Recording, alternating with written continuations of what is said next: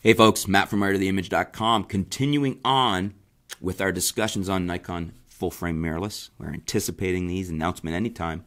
Uh, we're expecting a 45 megapixel and a 24 megapixel full frame mirrorless from Nikon.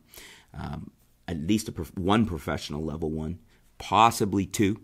It remains to be seen. Um, we've had some indications that perhaps the video autofocus system might not be as good in the 24 megapixel body as it is in the 45, in which case maybe we're getting an enthusiast level 24.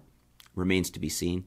However, there's also been indications, I did read it uh, on Nikon rumors, again, um, that there was some, some information that perhaps the supply and demand wouldn't be met on these cameras. In other words, maybe Nikon hasn't been able to retool uh, in in preparation for this fast enough, and that we may be in short supply on these cameras for a while after they're available. Uh, I think that's probably not likely to be the case. I will be surprised. These are very, very significant, very pivotal announcements and new cameras for Nikon. Nikon has had um, a little bit of a stressful year or two in the sense of their numbers haven't been great. Um, they're they're struggling a little bit, and they have been.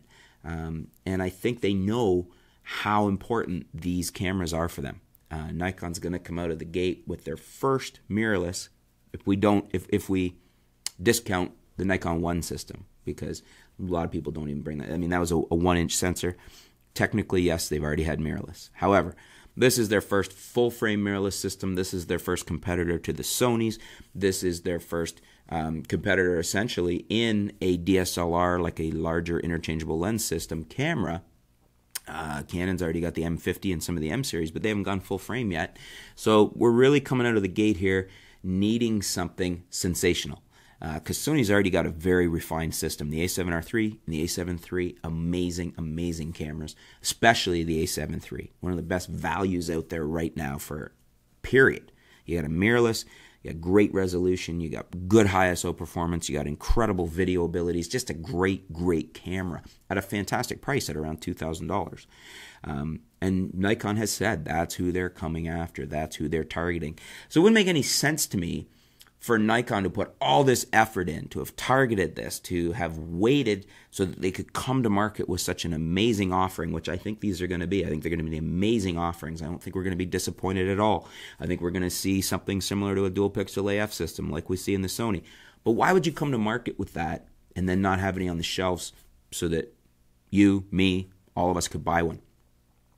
Sometimes that's a marketing ploy. You keep the demand in short supply because people want them and it keeps the hype up. But in this situation, I don't think that's what you would want. I don't think that would be smart. You want to have these things, tons of them on the shelf, so that as many people that want them can buy them. You can bring back shooters that have gone to Sony. You can sway Canon people over because these are going to be so awesome. That's what you want to do if you're Nikon. You want to make sure that if you come to me with your hard earned cash in hand, I can sell you one, two, three, four, as many as you want you don't want to be saying, I'm sorry, we're out of stock at the moment. Now, there's two things. If, if, if you're short sighted enough to not have retooled and had your plant and had a decent level of stock, then that's just silly. And that's not good business on Nikon's part. But I don't see them doing that. I don't see them doing that at all. That's where I was going with that. However, there is another possibility.